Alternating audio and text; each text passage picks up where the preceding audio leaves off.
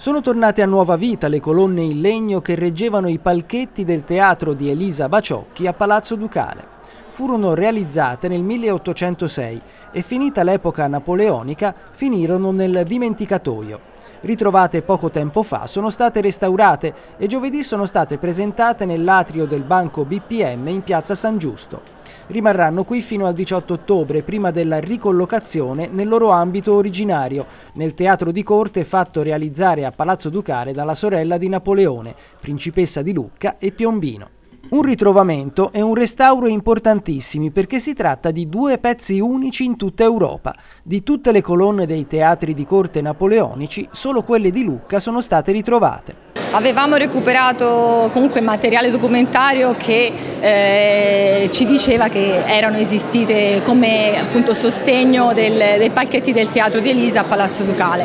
E poi con grande sorpresa e piacere abbiamo eh, ritrovato queste due colonne dimenticate eh, in una delle, diciamo, delle sale dell'archivio della provincia e abbiamo scoperto poi essere due colonne uniche in Europa perché Bernard Chevalier, presidente della Fondazione Napoleon, eh, ha detto che non esistono altre. Le due colonne sono state restaurate grazie al sostegno del Banco BPM, del Rotary Lucca e della Fondazione Cassa di Risparmio.